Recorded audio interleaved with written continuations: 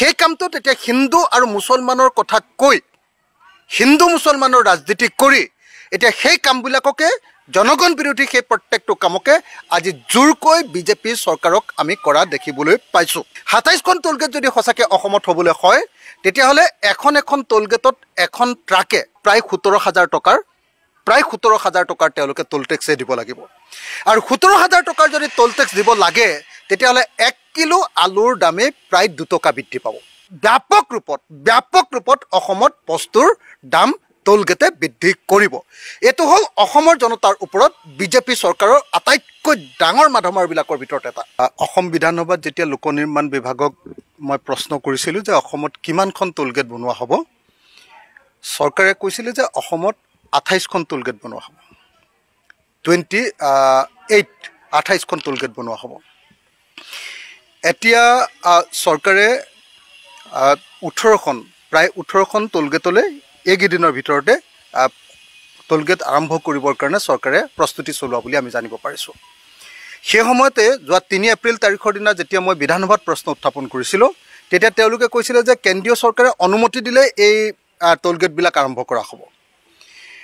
কিন্তু এতিয়া আপোনালোকে সকলোৱে আমি জানো যে বিজেপি চৰকাৰ অসমলৈ অহাৰ প্ৰধান কাৰণ আছিলে কংগ্ৰেছ চৰকাৰৰ প্ৰতি মানুহৰ মোহভংগ। মোহভংগ হোৱাৰ মূল কাৰণ কি কি আছিলে? তিনিটা চাৰিটামান এনেকুৱা ডাঙৰ ডাঙৰ ডাঙৰ মোহভংগ হোৱাৰ কাৰণ আছিলে। এটা আছিলে ব্যাপক ৰূপত দুৰ্নীতি। এতিয়া যিটো বিজেপিয়েও সমানৰে ৰূপেৰে একেই চিণ্ডিকেট একেই দুৰ্নীতি বিজেপিয়েও চলাই আছে। দ্বিতীয়টো আছিলে বৃহৎ নদীবান। যিটো আগতকৈ বেছি খৰতকীয়াকৈ এতিয়া বিজেপি চৰকাৰৰ দিনত কৰা হৈছে। আৰু তৃতীয় অন্যতম অন্যতম এটা গুৰুত্বপূৰ্ণ বস্তু আছিলে টোলগেট টোলগেট খুলিবলৈ লোৱাৰ কাৰণে আমি ব্যাপক ৰূপত প্ৰতিবাদ কৰিছিলোঁ আৰু অসমৰ ৰাইজে তাৰ প্ৰতি সমৰ্থন ব্যক্ত কৰিছিলে আৰু সেই সময়ত কংগ্ৰেছ দলৰ প্ৰতি মানুহৰ মোহভংগ ঘটিছিলে।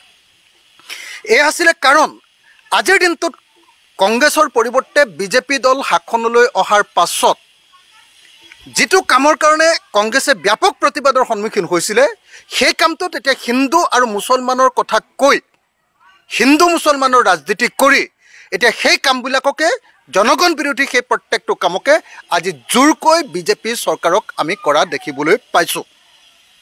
আজি যদি অসমত এনেকুৱাকৈ যদি সাতাইছখন আজি আজি আজিৰ দিনটোত যদি অসমত সাতাইছখন টোলগেট খুলিবলৈ হয় টোটেল টোটেল টোলগেট হ'বগৈ সাতাইছখন টোলগেট সাতাইছখন টোলগেট যদি সঁচাকৈ অসমত হ'বলৈ হয় তেতিয়াহ'লে এখন এখন টোলগেটত এখন ট্ৰাকে মিনিমাম যিটো আপোনাৰ দহ টন তুলি বস্তু তুলিব পৰা এখন ট্ৰাকে ছশ দহ টকাকৈ আচলতে তেওঁলোকে টোল টেক্স দিব লাগিব। তেতিয়াহ'লে সাতাইছখন টোলগেটত যদি টোল টেক্স দিবলগীয়া হয় তেতিয়াহ'লে তেওঁলোকে প্ৰায় সোতৰ হাজাৰ টকাৰ প্ৰায় সোতৰ হাজাৰ টকাৰ তেওঁলোকে টোল টেক্সে দিব লাগিব।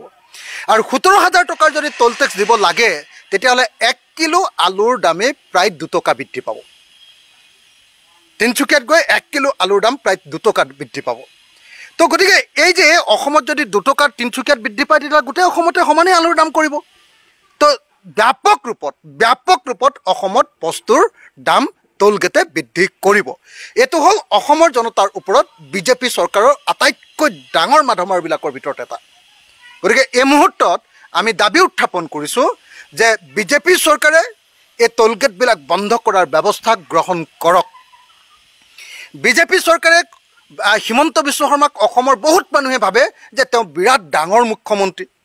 তেওঁ অসমৰ জনতাৰ কথা বিৰাট চিন্তা কৰে। তেওঁ সাংঘাতিক ধৰণৰ মানে দক্ষ মুখ্যমন্ত্ৰী। কিন্তু সেই দক্ষ ডাঙৰ অসমৰ জনতাৰ প্ৰতি বিৰাট চিন্তা কৰা এই মুখ্যমন্ত্ৰীৰ দিনতে প্ৰত্যেকটো ক্ষেত্ৰতে জনগণ বিৰোধী সিদ্ধান্ত গ্ৰহণ কৰা হৈছে। আজি টোলগেটৰ ক্ষেত্ৰত যি সিদ্ধান্ত গ্ৰহণ কৰা হৈছে এইটোৱে অসমৰ অৰ্থনীতি ভাঙি পেলাব। অসমৰ অৰ্থনীতি ভাঙি পেলাব। বাছ ভাড়া কিমান বৃদ্ধি হ'ব? আমি সৰু সৰু গাড়ী লৈ মই যদি শিৱসাগৰ বিধানসভা সমষ্টিলৈ আহোঁ গুৱাহাটীৰ পৰা তেতিয়াহ'লেও কিজানি মই এহেজাৰ বাৰশ টকা টোল টেক্স দি আহিব লাগিব ৰাজপথত। এইটো এটা ভয়ংকৰ ঘটনা। এই ঘটনা কেতিয়াও মানি লোৱা নহ'ব। আমি আপোনালোকে সকলোৱে জানে যে কৃষক মুক্তি সংগ্ৰাম সমিতিয়ে আমি অসমৰ টোলগেটবিলাক প্ৰায় পাঁচ বছৰ বন্ধ কৰি ৰাখিছিলোঁ। আন্দোলন কৰি ষ্ট্ৰীট ফাইট কৰি আমি টোলগেটবিলাক বন্ধ কৰি ৰাখিছিলোঁ। আমাৰ কৃষক মুক্তি সংগ্ৰাম সমিতিৰ প্ৰচেষ্টাৰ ফলস্বৰূপে অসমে অসমৰ মানুহে হাজাৰ হাজাৰ কোটি টকাৰ টোল গেটৰ টেক্সৰ পৰা অব্যাহতি লাভ কৰিছিলে ৰেহাই লাভ কৰিছিলে। গতিকে এই মুহূৰ্তত আমি দাবী জনাইছোঁ যে টলগেট বৃদ্ধি কৰা টল টলগেট বৃদ্ধি কৰাৰ সিদ্ধান্ত বন্ধ কৰক। আৰু আপোনালোকে সকলোৱে জানে যে টলগেট কেতিয়াও নেশ্যনেল নেশ্যনেল হাইৱেত এটা অল্টাৰনেটিভ এটা বিকল্প পথ নিদিয়াকৈ টলগেট দিব নোৱাৰে। আমি সাতত্ৰিছ নং ৰাষ্ট্ৰীয় ঘাইপথেৰে আহি আছিলোঁ। সাতত্ৰিছ নং ৰাষ্ট্ৰীয় ঘাইপথটোত তেওঁলোকে টলগেট নিদিয়াকৈ তেওঁলোকে খুলি দিয়ক। আৰু বাকী যদি কোনোবাই বেছি খৰকৈ যাব খোজে তেতিয়াহ'লে তেওঁলোকে যি ৰাস্তা বনাই বনাই লওক তাত টল টল টল টেক্স লগাওক। এইটোহে নিয়ম। এটা অল্টাৰনেটিভ ৰাস্তাতহে আচলতে অল্টাৰনেটিভ ৰাস্তাত দিহে টল গেট লগাব পাৰে। যি নিজেই চৰকাৰে নতুনকৈ নিৰ্মাণ কৰিছে নিজেই চৰকাৰে আপোনাৰ বা কোন কোনোবা কোম্পেনীয়ে নিৰ্মাণ কৰিছে তেতিয়াহ'লে টল গেট দি টল গেটত টকা দিছে টল গেটত টকা দিবলগীয়া হৈছে সেইটো এটা বেলেগ প্ৰসংগ। কিন্তু কোনো বিকল্প নোহোৱাকৈ এনেকৈ মানুহৰ ওপৰত ডকাইতি কৰিবৰ কাৰণে এইটো বিজেপি চৰকাৰৰ ডকাইতি। এইটো নৰেন্দ্ৰ মোদী চৰকাৰৰ ডকাইতি। এইটো হিমন্ত বিশ্ব শৰ্মা চৰকাৰৰ ডকাইতি। এই টলগেটৰ যি উৎপাত এইটো ডকাইতিৰ বাহিৰে আন একো নহয়। অসমীয়া মানুহৰ ওপৰত ভাৰতীয় মানুহৰ ওপৰত এই যি ডকাইতি বিজেপি চৰকাৰে চলাইছে ইয়াৰ বিৰুদ্ধে যদি আমি প্ৰতিবাদ নকৰোঁ তেতিয়াহ'লে কোনেও আমাক কেতিয়াও ক্ষমা নকৰিব। মই এই মুহূৰ্তত অসমৰ সকলো জাতীয় সংগঠনক অসমৰ সকলো ৰাজনৈতিক দলক ঐক্যবদ্ধভাৱে ঐক্যবদ্ধভাৱে আমি টল গেটৰ বিৰুদ্ধে প্ৰতিবাদ সাব্যস্ত কৰিবৰ কাৰণে আহ্বান জনাইছোঁ। আৰু ময়ো এটা কথা খাটাংকৈ কৈ দিছোঁ। মই এতিয়া বিধায়ক গতিকে মই আন্দোলনৰ কথা কৈ থাকিলে মানুহে বেয়া পায় কিন্তু তাৰ পাছতো এটা কথা কৈছোঁ যে এনেকুৱা ধৰণৰ অত্যাচাৰ ইটোৰ পিছত সিটো যদি অত্যাচাৰ আমাৰ ওপৰত জাপি দিয়ে তেতিয়াহ'লে উপায় নাই। আকৌ পুনৰ পূৰ্বৰ পথলৈ আমি ঘূৰি যাব লাগিব। পূৰ্বৰ পথলৈ গৈ আমি আকৌ আগৰ দৰে এনেকৈ ট'ল গেট বন্ধ কৰি দিবলৈ বাধ্য হ'ম।